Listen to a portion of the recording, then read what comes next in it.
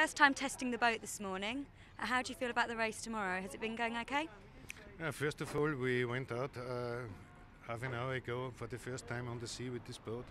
We did only some tests on the lake in Como, and uh, it's very rough outside now. So we tried to find uh, the right propeller, but uh, I'm not sure if we have it for tomorrow. Tell me a bit about the boat. Uh, I see you've got a nice paint job going on. Yeah, the paint job uh, is done by Mr. Tiroch. He's a very uh, well-known uh, Austrian painter, and I think uh, the skin, the snake skin, is uh, for the sea a good look. Definitely, definitely one of the best looking boats here. So are you feeling confident about tomorrow? Uh, always you have a chance, and uh, I feel always uh, very fine.